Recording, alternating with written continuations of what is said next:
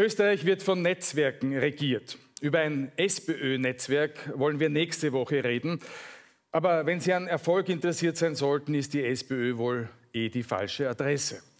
Daher beginnen wir heute mit der größten Partei. Ja. Kennen Sie das? Sie träumen von Macht und Geld, aber dann wachen Sie auf und realisieren, ich habe weder eine Ausbildung noch ein abgeschlossenes Studium, ich kann nichts und interessiere mich auch für nichts außer mich selbst. Ja dann geht es Ihnen äh, vielleicht so ähnlich wie Sebastian Kurz vor zehn Jahren. Aber wir können Ihnen helfen.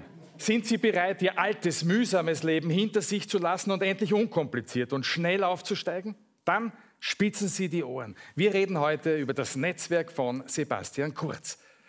Sie wissen schon, Networking. Früher hat man dazu noch Freundalwirtschaft gesagt. Aber gut, aus Hände falten, Goschen halten wurde auch Message Control. Hm? Stellen Sie also bitte jetzt die Rückenlehne Ihres Fernsehsessels gerade und schließen Sie jetzt sofort in Ihrem Browser das YouPorn-Tab äh, und das zweite YouPorn-Tab bitte auch. Weil zum erfolgreichen Networking braucht man eine freie rechte Hand. Und zwar nicht nur in der FPÖ. Also, äh, zum Händeschütteln natürlich, was haben Sie jetzt gedacht? Ne? Gut. Laut dem Netzwerkanalytiker Harald Katzmeier sind die entscheidenden Faktoren für den beruflichen Erfolg 70 Prozent das Netzwerk und 30 Prozent das eigene Können.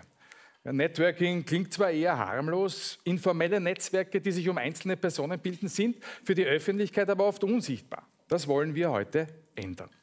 70 Prozent sind das Netzwerk, 30 Prozent das Können. Schon arg, oder? Äh, beziehungsweise wie Sebastian Kurz sagt, 70 Prozent plus 30 Prozent ist Bundeskanzler.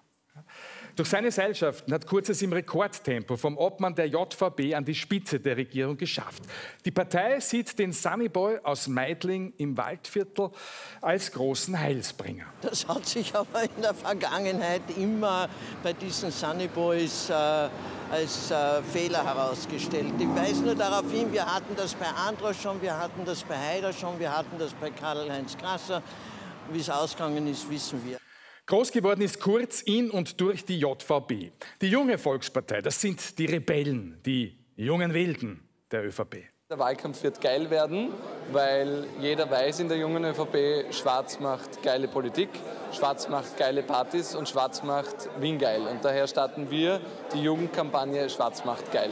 Jung und wild heißt in der ÖVP einmal bis Mitternacht aufbleiben und statt einem Stillen ein prickelndes Mineralwasser trinken. Ja. Aber auch nur, wenn Kameras dabei sind. Die JVP war jahrelang so gut wie wurscht. Dank Kurz am Steuer hat sich aber die Macht der JVP in der ÖVP immer weiter ausgedehnt. Nach der Nationalratswahl 2017 waren erstmals sechs JVPler Abgeordnete im Parlament. Seit der heurigen Wahl sind es sogar schon neun. Obmann der JVP ist Stefan Schnöll. Schnöll ist so ein guter Netzwerker, er hat dem ORF sogar dieses drittklassige TV-Konzept aufs Auge gedrückt. Schnöll ermittelt. Mit 35 Jahren scheidet man aus der JVB aus und kann sich im mysteriösen Club 35 vernetzen. Das ist der Alumni-Club der JVB. Am 15. September 2015 feierte der Club 35 seine offizielle Gründung in Wien. Sieht man sich diesen ominösen Club genauer an, findet man darin das engste Netzwerk von Sebastian Kurz versammelt. Der Club 35 quasi die österreichischen Avengers. Aber statt Hulk und Iron Man hat der Club 35 Mitglieder mit ähnlich schlecht erfundenen Namen. Etwa ÖVP-Bundesgeschäftsführer Axel Melchior, rechts im Bild. Oder links Club 35 Präsidentin Bettina Rausch. Ganz wichtig, der Club 35 ist nicht zu verwechseln mit dem Club 27, den Popstars, die mit 27 abgetreten sind. Die wichtigsten Unterschiede zwischen Club 27 und Club 35. Im Club 27 raucht man Marihuana, im Club 35 raucht höchstens die Kreditkarte vom Papa. Im Club 27 sind alle tot, im Club 35 sind alle konservativ, also äh, nur innerlich tot. Und der Club 35 hat mehr Leute am Gewissen als der Club 27. Wenn Sie sich gefragt haben, warum bei den Sondierungsgesprächen mit den Grünen da immer dieser Praktikant mit am Tisch sitzt, das ist Stefan Steiner einer seiner einflussreichsten Jünger, äh, Berater. Steiner hat quasi einen All-In-Vertrag, ist für kurz 24 Stunden am Tag erreichbar und hängt an ihm wie eine Klette. Nicht nur, weil er laut Falter einen Beratervertrag über 33.000 Euro pro Monat hat, sondern weil er 2013 kurz einmal unabsichtlich in die Haare gegriffen hat und dabei mit seiner Hand kleben geblieben ist. 33.000 Euro pro Monat oder wie René Benkos Kinder sagen, äh, Papa, warum kriege ich so wenig Taschengeld? Aber wie sein Messias, äh, sein Chef, ist auch äh, Stefan Steiner ungewöhnlich schnell aufgestiegen. So fühlt sich die Karriereleiter für Stefan Steiner an. Und so fühlt sich die Karriereleiter für Menschen an, die nicht Teil des Club 35 sind.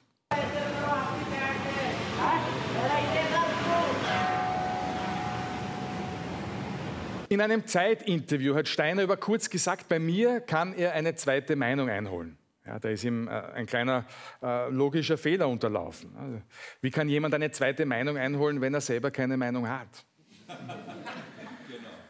Eine weitere Figur, die man sich merken sollte, wenn man sich in der ÖVP nach oben networken will, Gerald Fleischmann, sein Spin-Doktor und Mann fürs Grobe. Wenn Sie Journalist sind, haben Sie von Fleischmann schon mindestens eine dreistündige Sprachnachricht bekommen, weil Sie ein Foto von Kurz ausgewählt haben, bei dem die Frisur nicht ganz perfekt sitzt. Die Message kann man vielleicht kontrollen, aber nicht die Frisur. Nicht vorbei kommt man im Netzwerk von Kurz auch an Ex-Wirtschaftsministerin Margarete Schramböck, der Teilzeitenergetikerin und an der menschlichen Selfie-Stange Elisabeth Köstinger. Durch den rasanten Aufstieg von Sebastian Kurz hat ein altes ÖVP-Netzwerk gelitten, der Kartellverband. Kurz ist kein Mitglied, was eher ungewöhnlich ist. Insgesamt elf von 17 ÖVP-Chefs der Zweiten Republik waren CV-Männer. So auch Kurz Vorgänger Reinhold Django Mitterlehner. Der mächtigste CVler im Dunstkreis von Kurz ist derzeit Gernot Blümel. Hier zu sehen, wie er gerade Ovid liest. Ja, ein ungestellter, völlig natürlicher Schnappschuss aus dem Büro. Ja, ja, angeblich hat Ovid damals im Büro auch oft am Balanceboard Schriften von Gernot Blümel gelesen. Ja. Blümels Verbindungsname Alcuin. Kleine Eselsbrücke, um sich den Namen zu merken. Auf der Bude hat man einen Alcuin, nach der Bude einen Alkurin. Ja. Neben dem Kartellverband hat aber auch die Raiffeisenbank unter Kurz in der ÖVP an Einfluss verloren. Und das, obwohl Ex-Reiker-General Christian Konrad vermutlich immer noch alle Mächtigen des Landes einmal im Jahr zum berüchtigten Sauschädelessen trifft. Ja? Dieser Spruch ist allerdings äh, Nobelpreis verdächtig. Peter Handke könnte es nicht besser ausdrücken. Beim Sauschädelessen gibt es einen eigenen strengen Code. Keine Fotos und keine Infos der Gäste dürfen an die Öffentlichkeit dringen. Gegner der Veranstaltung vermuten übrigens, dass am Bild ist dort sicher nicht die einzige gestopfte Sau. mein nächstes Ziel ist es, mich beim kommenden Sauschädelessen einzuschleusen, quasi als trojanisches Schwein. Auch Kurz äh, verköstigt sein Netzwerk. Ein Bro von Kurz ist der Immobilienmilliardär René Benko.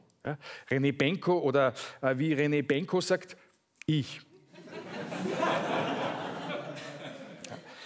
Hier sieht man Benko und Kurz beim feuchtfröhlichen Feiern mit einem teuren Roten. Eine Hand wäscht aber nicht nur die andere, sondern füttert sie auch. Ja, Beispiel gefällig.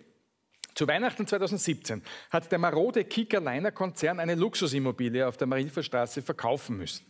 René Benko hat dank Sebastian Kurz für 60 Millionen den Zuschlag bekommen.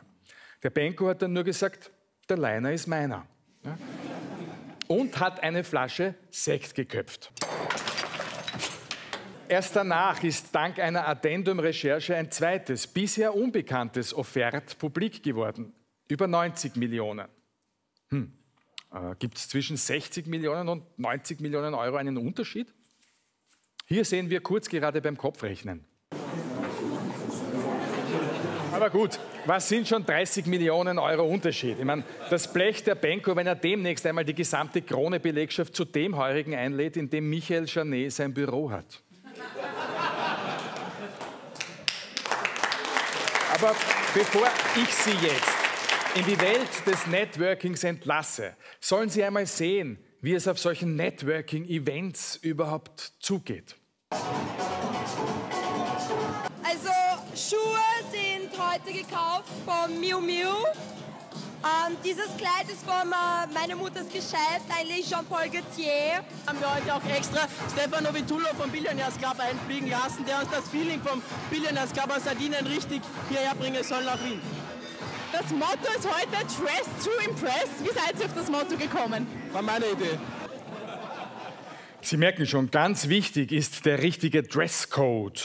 Und um zu zeigen, ja, ich bin ein echter Networker, gibt es zwei Zaubermittel. Sehr viel Haargel und ein türkiser Pulli.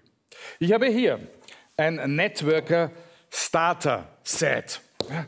Das Gel schmiere ich mir in die Haare und den türkisen Pulli werfe ich mir locker über die Schultern und vorn mache ich einen Knoten rein. Voila. Besorgen auch Sie sich dieses Networker Starter Set. Und wenn Sie dann noch über maximal 30% Talent verfügen, steht Ihrem Erfolg nichts mehr im Weg. Ich will ein eigenes Netzwerk aus hoffnungslosen jungen Menschen. Ja, sowas wie das Bundesheer, nur ohne Armut. Ja, und ich will ein Netzwerk aus Leuten, denen Inhalte wichtig sind. Also ja, vor allem der Inhalt der eigenen Geldbörse. Daher darf ich euch alle einladen zu unserem großen Event mit Peter Klien gemeinsam in die neue Volkspartei hinein networken. Wir haben dazu extra eine Bar gemietet, denn jetzt kann uns keiner mehr stoppen. Kommt alle mit und lasset das Networking beginnen.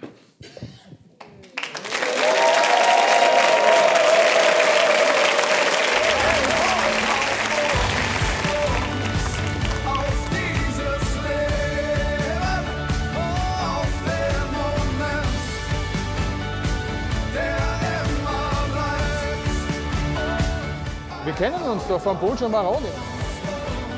Sag einmal, du hast eh nicht mehr als 30% Talent, oder? Darf ich dich anfüttern? Was ist denn dein Hobby? Xing oder LinkedIn?